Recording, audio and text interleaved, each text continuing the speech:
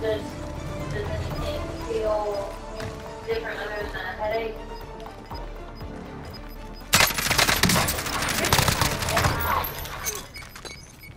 Gas is closing. Get to the new safe zone. Gas is moving.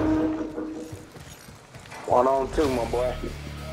Um, I usually give her the Dramamine because she can take that on an empty stomach. Um, and then,